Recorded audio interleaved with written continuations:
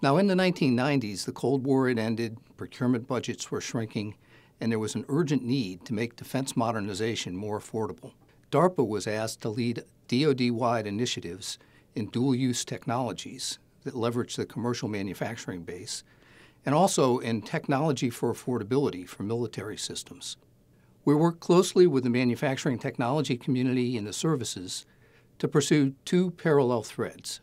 The first was in tools, infrastructure, and enabling technologies for component level design and manufacturing. The second thread was system level advances that built on best commercial practices, enhanced with new information technology, and applied to DoD needs in affordable, low volume production. This second thread was executed by DARPA systems offices in programs like Global Hawk and by DSO in partnerships with other DARPA offices and, and the services. Another example is the Solid Freeform Fabrication Program, which used DARPA's leadership in material science to address physical manufacturing processes and expand the envelope of what today is called 3D printing. There were a few capabilities out there, including stereolithography that 3D Systems had developed. It was very synergistic at the time to move from concept models and tooling to making parts with form, fit, and function. Overall, what we wanted to do in these programs was create a digital thread that connected design right through to manufacturing to speed up and reduce the cost of producing defense systems. I think we're well on the way to doing that. So, what was the impact of DARPA investments 20 years ago?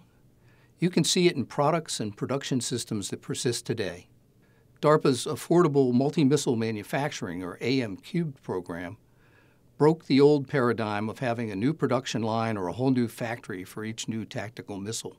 Manufacturing was re emphasized by DARPA starting in 2010 with such programs as open manufacturing, material development for platforms, and transformative design. The Open Manufacturing Program was created with a simple vision help build the confidence in new manufacturing technologies so that adoption is not considered a risk.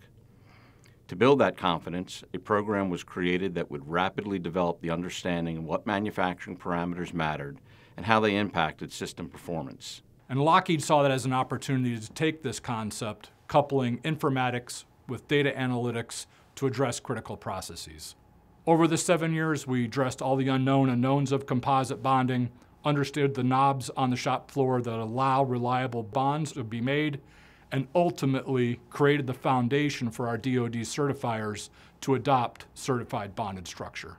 Another program was the Materials Development for Platforms program, MDP, linking the tools being used by the material developers with those that were being used by the design community and the manufacturing community.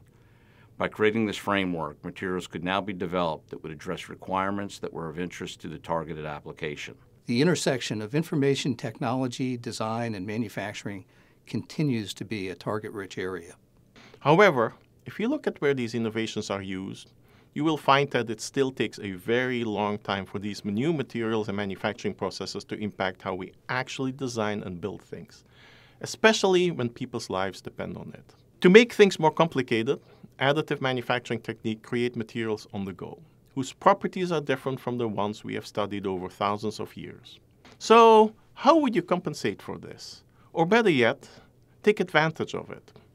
We could open up entirely new operational envelopes while also integrating additional functionality. To accomplish this vision, DARPA is working on several programs such as TRADES and FUN Design. They aim to change the relationship between humans and computers to make them true partners in design rather than a tool that records your decision and acts like a large calculator. DARPA has always based its work on an understanding of current and future national security needs. Advanced manufacturing will always be a high priority need for DoD, and I expect that DARPA will continue to be called on for leadership that benefits the nation and the world.